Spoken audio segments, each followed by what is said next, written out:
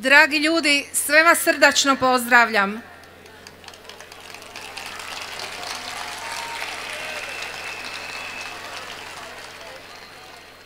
Osjećam ponos i radost u srcu što sam u ovakvom društvu i ovakvoj atmosferi, atmosferi zajedništva, optimizma, nepokorenog duha i nade, da u konačnici istina mora pobijediti bez obzira koliko nam bude teško.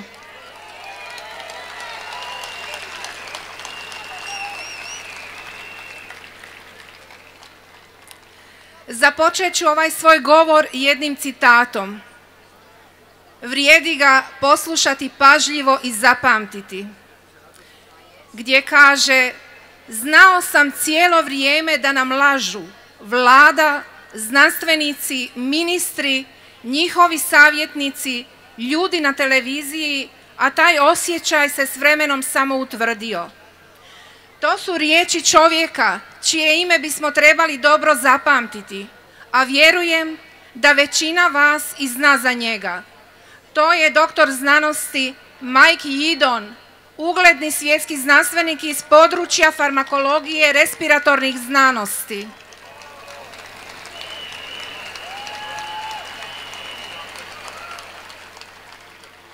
Zašto započinjem ovo moje obraćanje ovim citatom?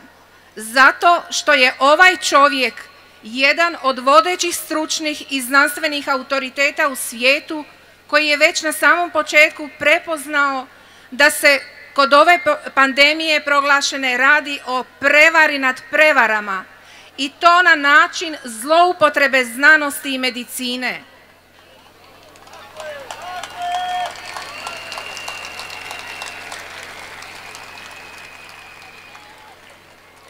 On o tome neumorno govori, objašnjava i upozorava na razmjere opasnosti koji prijete čovječanstvu. Mike Idon nije jedini stručni autoritet koji o tome govori. Postoje brojni znanstvenici, liječnici i stručnjaci koji su uložili sav svoj integritet u borbi za istinu. Bila mi je prvotna namjera nabrojiti barem desetak takvih divnih ljudi iz cijeloga svijeta, ali sam od toga odustala iz jednog razloga koji ću vam otkriti na kraju.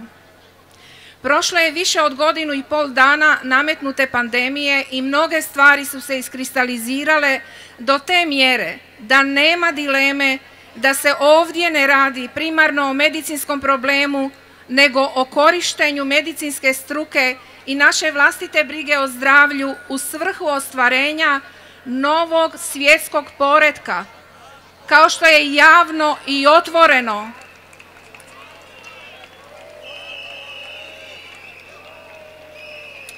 Kao što je javno i otvoreno na jednoj konferenciji za medije rekla zdravstvena dužnosnica doktorica Kerry Chant u saveznoj državi Novi Južni Wales u Australiji. A sve se odvija pod krinkom brige o zdravlju i korištenjem znanstvenog tehnološkog napretka. Oni koji upravljaju ovom krizom pozivaju se na znanost koja im odgovara za ostvarenje njihovih ciljeva. Upregnuta je silna propagandna mašinerija koja potiče vjerovanje u znanost bez znanstvenih dokaza, bez mogućnosti propitivanja i kritičkog mišljenja i što je najvažnije, bez pristupa javnim medijima svih onih koji imaju drugačiji stav od službenog. Očigledno je da postoji dobra i loša znanost i o tome ne smijemo šutjeti. Dobra znanost je u službi zaštiti života i zdravlja, a loša znanost je u službi određenih interesa i, i u ostvarivanju određenih ciljeva koji nisu na korist općeg dobra. Problem je kad se pod utjecajem novca i političke moći prisvaja iz znanosti ono što nekome odgovara. Prosječan čovjek se uglavnom ne bavi ovim temama i nije baš upućen u sve zakulisna igre i događanja, niti u znanosti, niti u politici i to nije ništa čudno. Ali mi se nalazimo u situaciji da se obruč steže sve više oko svakoga od nas i da moramo izaći iz zone komfora i vlastite pasivnosti.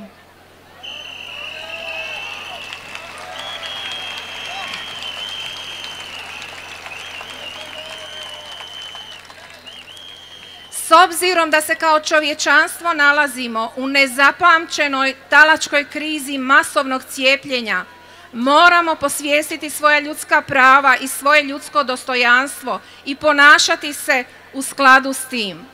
Nemojmo pocijenjivati sami sebe, jer nam ta prava ne daju zakoni i političke odluke, nego smo ih mi dobili svojim rođenjem od stvoritelja.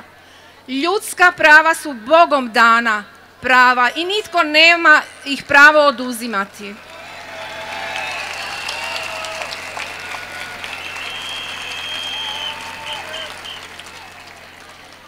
Svaki pokušaj oduzimanja ljudskih prava ukazuje na tendenciju uspostave totalitarizma. Nemojmo dopustiti da nam savjest bude utišana ili blokirana raznim vanjskim pritiscima. Odvažimo se osluškivati našu savjest, pogotovo u ovim teškim vremenima. Savjest je univerzalna, opće ljudska norma moralnog djelovanja svojstvena svakom čovjeku. Zajednička vjernicima i nevjernicima. Svaki bi čovjek trebao formirati vlastitu savjest na ispravnim etičkim normama i pomno osluškivati njezin glas. Natjerati čovjeka da zaguši, da zagluši glas vlastite savjest je duhovno i moralno nasilje. Teška prisila učinjena bez fizičke sile i to nam se upravo događa. Ne samo nama, nego puno gore u nekim drugim zemljama i kontinentima. Savjest je, ne zaboravimo, povezana sa znanjem i spoznajom. Informirana savjest bi bila čovjekovo saznanje i uvjerenje što je dobro ili zlo, bazirano na stvarnosti ili stvarnim činjenicama. Sve što je izraz dobrote, ljubavi, brige za stvarne interese, korist i radost za sebe ili drugoga dobro je, pravedno, pošteno i konstruktivno. Očekivali smo od naših duhovnih autoriteta da će nas ohrabriti i ovome govoriti. Međutim, vrlo su rijetki pojedinci, moralni autoriteti koji su izašli na vjetrometinu i rekli ovo što sam ja sad rekla, jer to je ipak njihovo područje i e, oni su koji ohrabruju ljude i na duhovnoj razini. Zato ovim putem pozdravljam profesora Don Josipa Mužića koji se usudio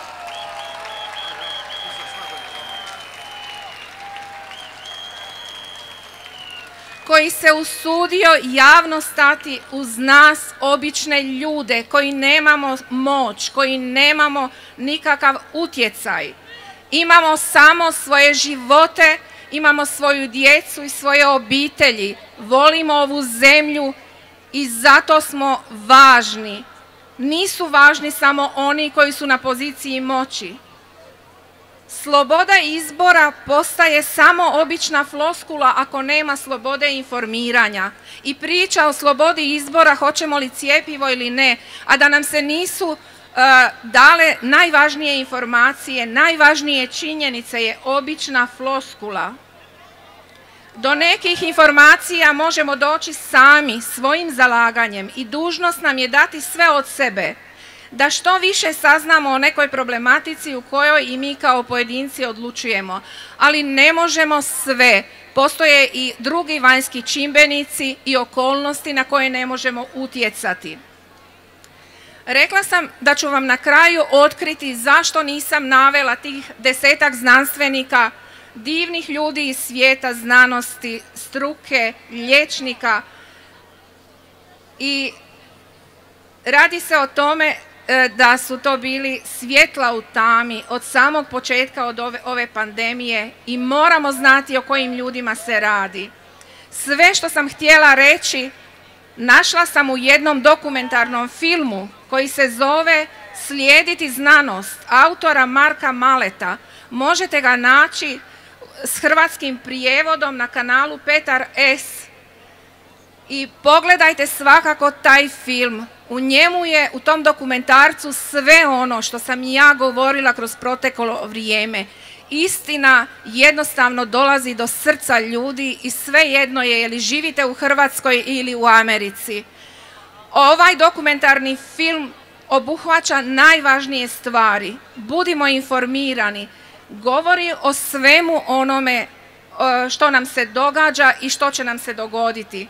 U tom filmu je važno još spomenuti jednog predivnog čovjeka, znanstvenika, doktora Sušartija Bagdija, njemačkog imunologa.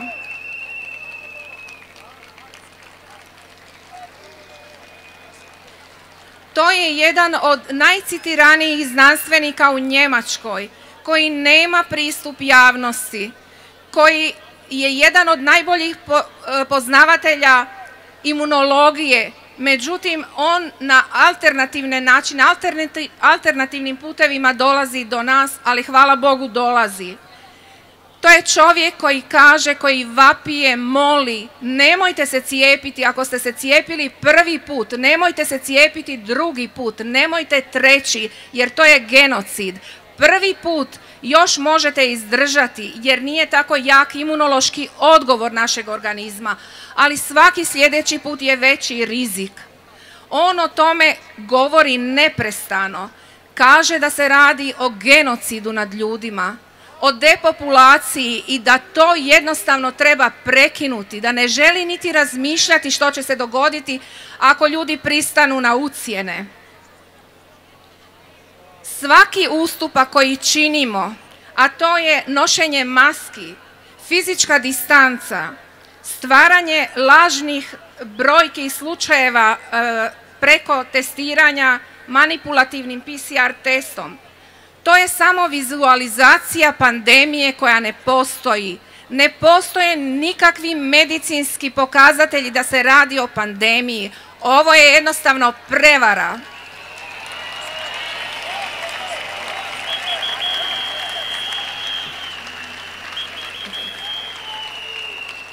Promijenjena je definicija pandemije 2009. godine prije e, proglašenja e, svinske gripe.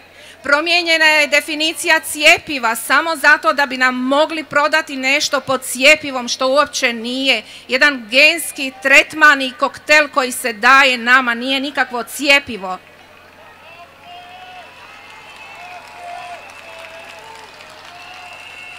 Film koji sam spomenula slijediti znanost je posvećen zdravstvenim djelatnicima koji su rekli ne i koji su po cijenu otkaza odbili cijepljenje. Ja isto pozivam zdravstvene djelatnike, liječnike, medicinske sestre i sve ostale koji su u struci, naoružajte se znanjem i recite jednu čarobnu riječ. Ne, nikakvom cijepivu, nikada.